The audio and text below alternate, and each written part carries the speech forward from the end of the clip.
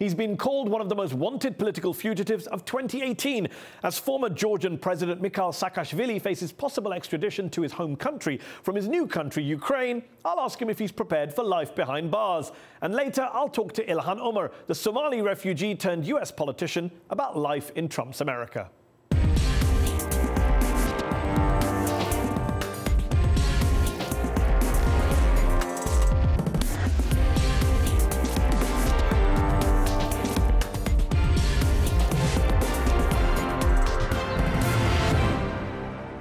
Mikhail Saakashvili, thanks for joining me on Upfront. Uh, you were twice elected president of Georgia and governed there for nine years, and yet you're now a wanted man in Georgia. You've gone from president to fugitive. Uh, how does that feel?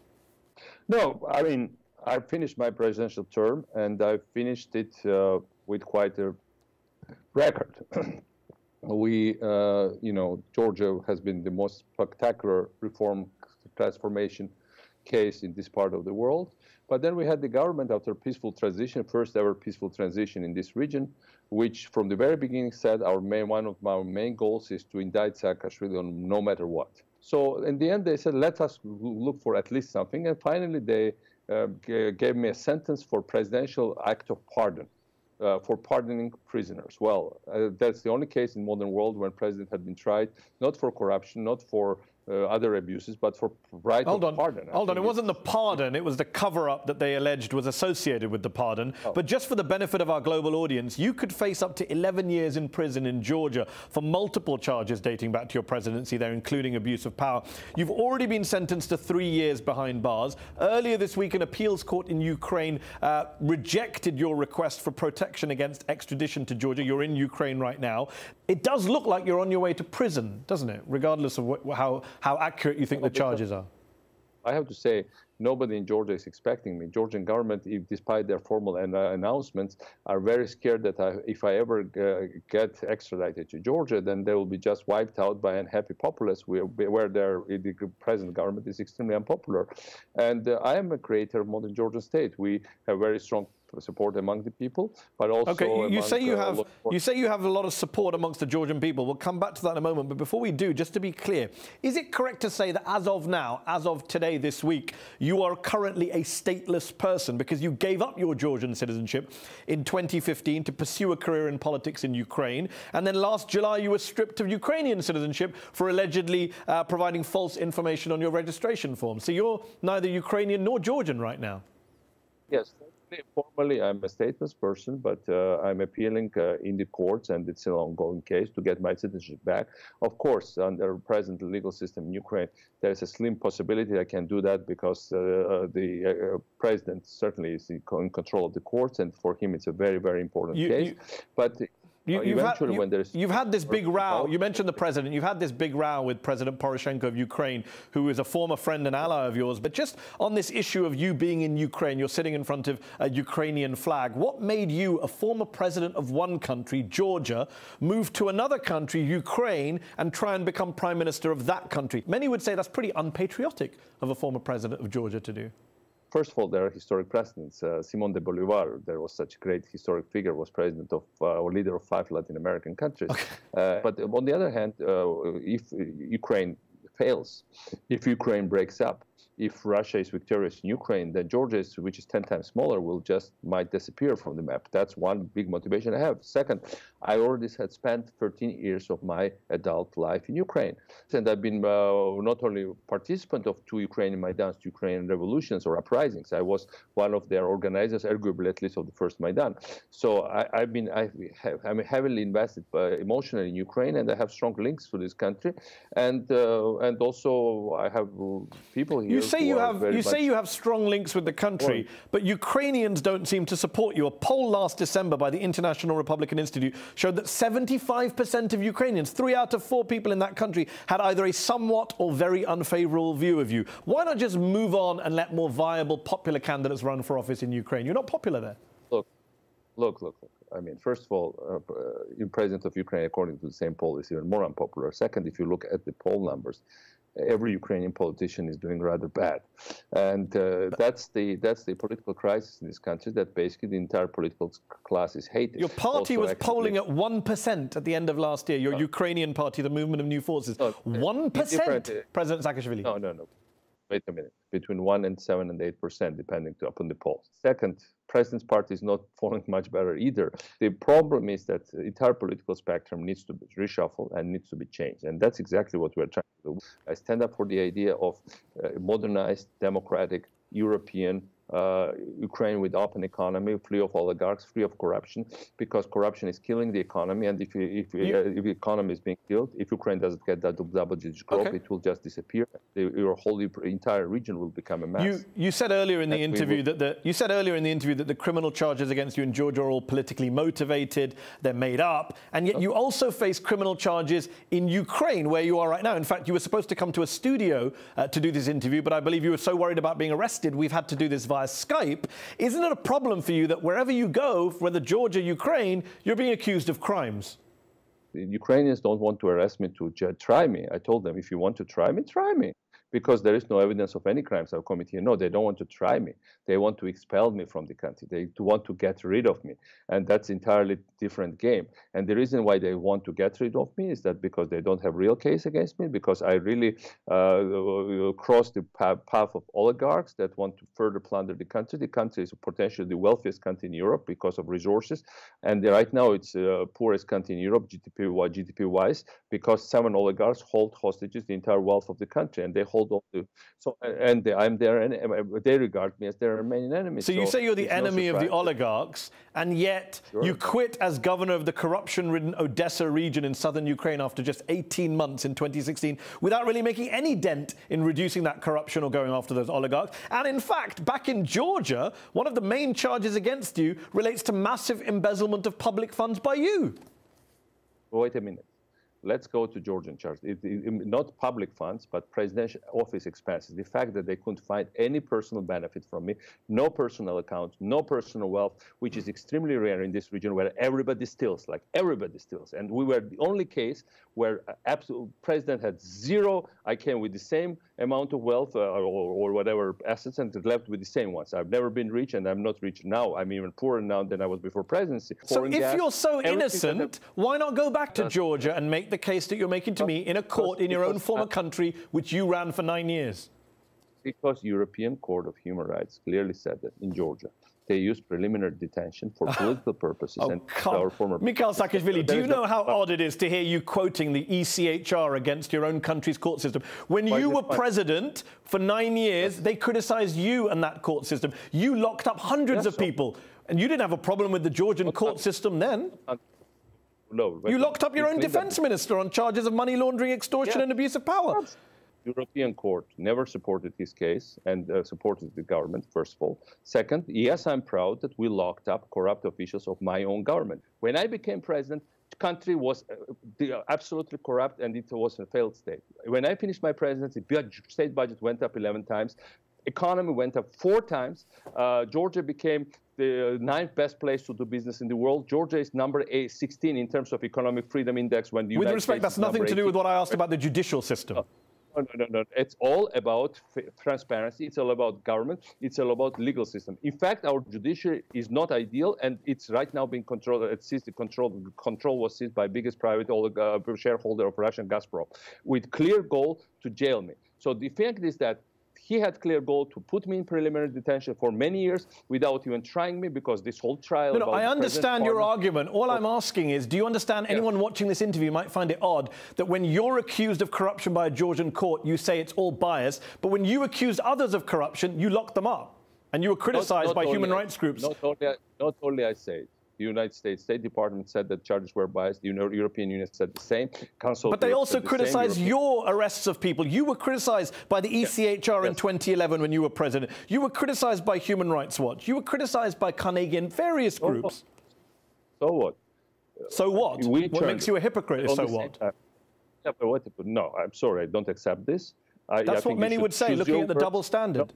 No, no, no. I think you should select your words more carefully because World Bank wrote a, wrote a book when said that the only case of successful transformation worldwide, indeed, Georgia was world's number one perform a reformist country. Okay, I'm not. I'm, I haven't questioned. Wait okay. a minute. You told me I locked up people.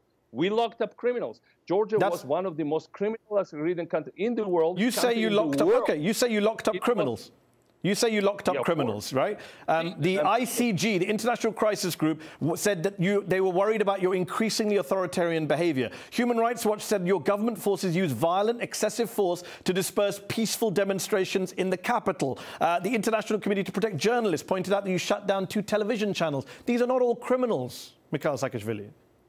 No, of course not. And I tell you, there was one rally when it was organized on Putin's money, and everybody knows that. Our uh, security forces were not ideal, and we couldn't have turned Georgia into liberal democracies in eight years' time. But non-existing country was turned into the best reform example in Eurasia. No country, no country had increased its credentials so well in nine years' time. And this is a well-known fact. That's why I was invited in Ukraine. That's why we, I feel strong support among best young people, among young reformers, among okay. well-educated Ukrainians as well as Georgians. That's how I feel it. You mentioned Vladimir Putin. You're best known in the West and the wider world for being president of Georgia in 2008, when your then country went to war with Russia, and in just five days, nearly 1,000 people died, more than 100,000 people were displaced. An exhaustive 1,000 page report commissioned by the European Union, published in 2009, ultimately blamed Georgia. They blamed you, not Russia or Putin, for having started that war. Uh, many would say, therefore, you have blood on your hands it's totally fake. They never blamed us, and especially not unilateralness. What they said is that Russian troops were first to enter Georgian territory.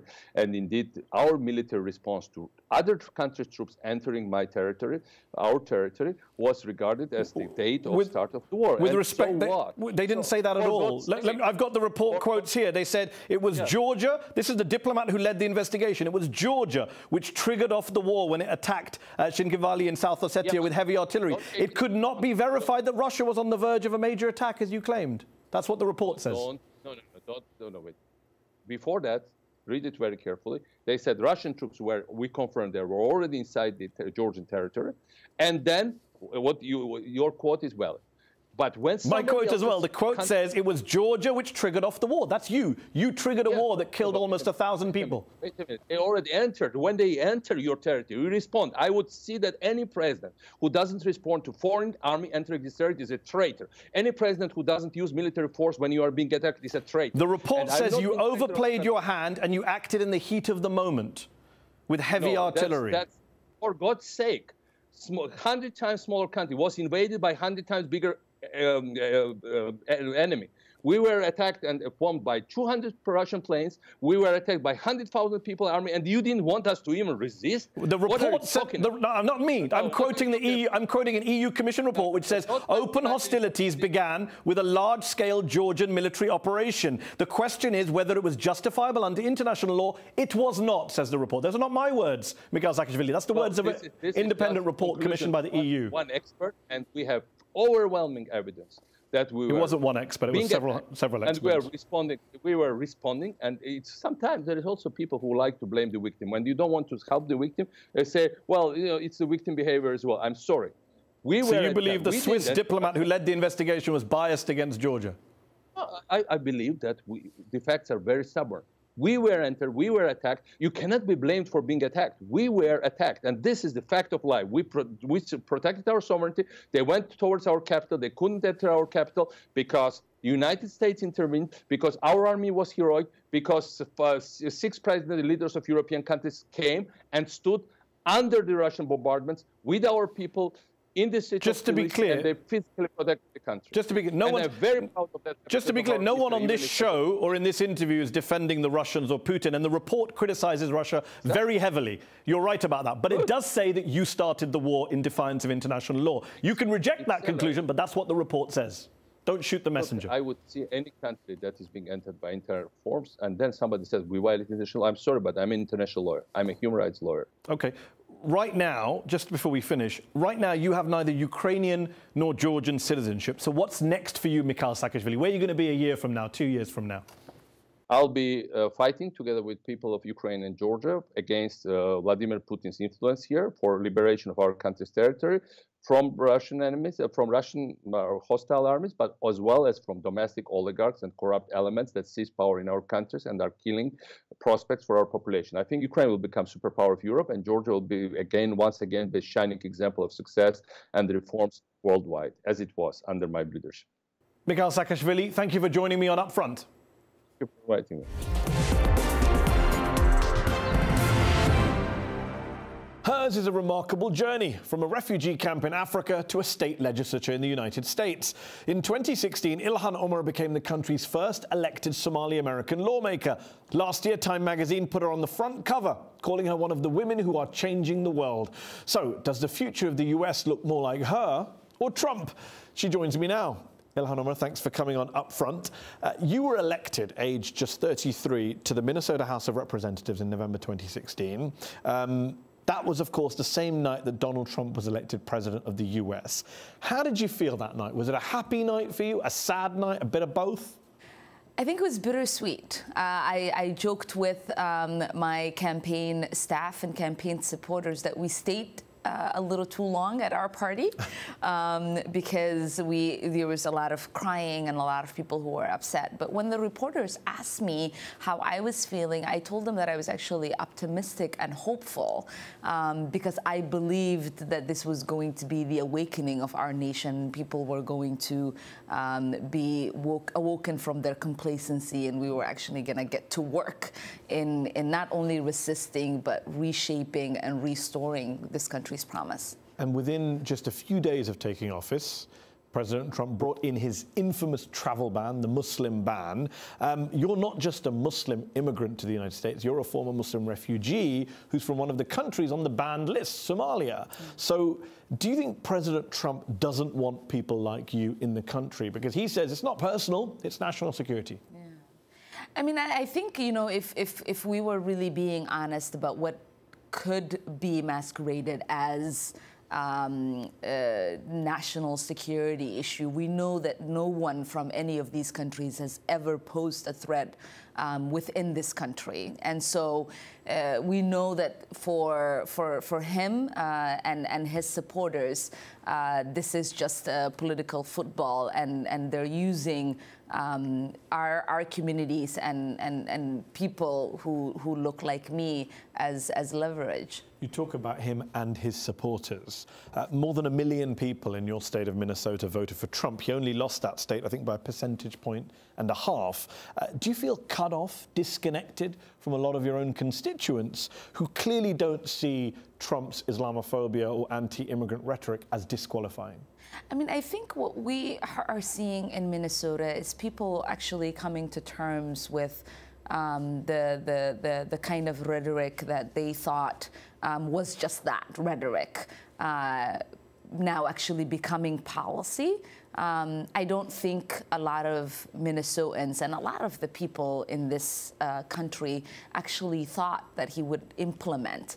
They, they, they voted because there was that economic anxiety. They believed this guy was going to be part of uh, negotiating this country into better um, really economic was, situation. You really think it was economic anxiety, not cultural or racial anxiety, yeah, that drove I, them I, to I, pull think, the lever for Trump? I don't think a lot of people understood that the the ones the people that he was talking about the policies that he was talking about on the campaign trail were going to have an effect on on on the members of their community the people that they've grown to to appreciate to be part of their communities. When you hear reports of your president referring to countries in Africa including your own country of birth Somalia as s-hole countries do you think that makes him a racist? Is Donald Trump a racist in your view I mean, I think there isn't a debate about whether um, Trump is a racist. Um, I think he, he, he fits into every, every ism.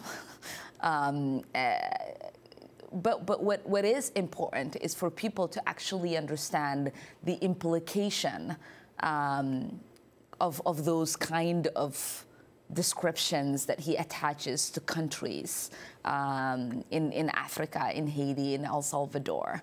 Uh, when we are having a conversation about what will ultimately make our country safe, it is about showing strong and principled leadership. It's about um, being the, the, the, the, country that, that has been known to, to, to foster open and inclusive societies. But you say there's no debate about whether Trump's a racist, and a lot of people would agree with you on that. And in fact, there's been an explosion in the number of anti-Muslim, far-right, white nationalist groups in the US over the past couple of years. Your own state of Minnesota experienced a record number of anti-Muslim incidents in 2016.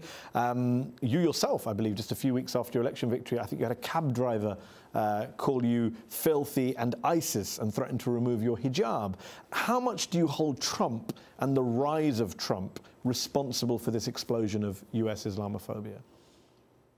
Oh, I would actually come very short of, of holding them exclusively responsible um, for, for the rights. I think when you demonize um, and dehumanize, uh, it is easy for people to, to, to, to commit acts of violence um, against those, those individuals because they no longer see them um, as, as a person, as someone who, who has feelings, who's worthy of respect.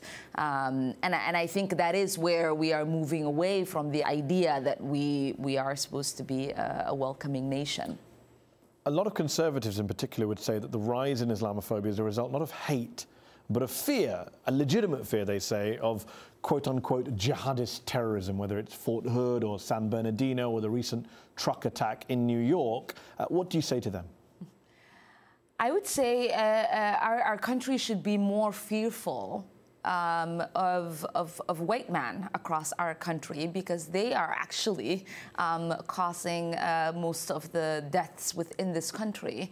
Um, and so if fear was the, the driving force of, of, of policies to keep America safe, Americans safe inside of this country, um, we should be uh, profiling, monitoring, um, and, uh, and, and creating policies to fight the radicalization of white men. But the, most of the funding and attention, even under Obama, obviously went towards Muslim communities. One of those communities is in Minnesota, uh, your state, the Somali American community in Minnesota, where I think over the past few years, more than 20 young Somali Americans have left uh, to go and fight for ISIL or Al Shabaab or one of these quote unquote jihadist groups abroad. That's a real threat, obviously. No one's pretending it's not a threat. So, what do you do about it? But I mean, I think, it, like I said, the, the, the, focus of, of our um, uh, policies uh, should, should be about keeping Americans safe, keeping us domestically uh, safe. And, and, and where we actually find a solution is looking at um, our, our foreign policy, looking at how we are engaging with um, uh, these, the, the members of these, these communities, uh, and, and, and, and the kind of rhetoric, right, like that is being um, spewed out of leaders within our, our, our, city halls, within our state capitals, and, and, and within um, our, our nation's capital. Some would, um, say, some would say that's true. There's some really bad rhetoric coming from uh, politicians, security leaders, etc. But also a lot of bad rhetoric coming from Muslim community leaders, imams, etc. Right. Is that fair? I think bo both of those statements could be true, and I and I think you know it just goes to show what happens when you have uh, segments within communities um, that that are uh, using fear and hate um, to mobilize uh, their base. Um, and, it, and, it is important for us to actually have a conversation about what kind of communities we are trying to build and what this nation actually stands for. In an interview last year, you said your campaign for state office was about more than you. It was about shifting, quote, the narrative about what is possible. For those outside of the US, we have a global audience watching, who look at the current US president, maybe think he defines the US now, his anti-immigrant, anti-minority, anti-Muslim sentiment. Do you see your story as a kind of foil, a counter narrative to that? Are you personally the anti Trump? What, what I represent is, is, is an America that, that still allows people to, to fulfill that American dream. That you can come here at the age of 12 only knowing two phrases in English have the opportunity to put yourself through school and ultimately defeat a 44 year incumbent um, to win uh, a seat at the table, not only representing people that look like you, but uh, a district that has a 70% white population. What I wanted people to know throughout my election was that this dream isn't closed off to people. That the idea that a person of color or women could only win and, and run in districts that looked like them um, was, was, was something that we needed to move away from. Ilhan Omar, thanks for joining me on Upfront. Thank you. That's our show. Upfront will be back next week.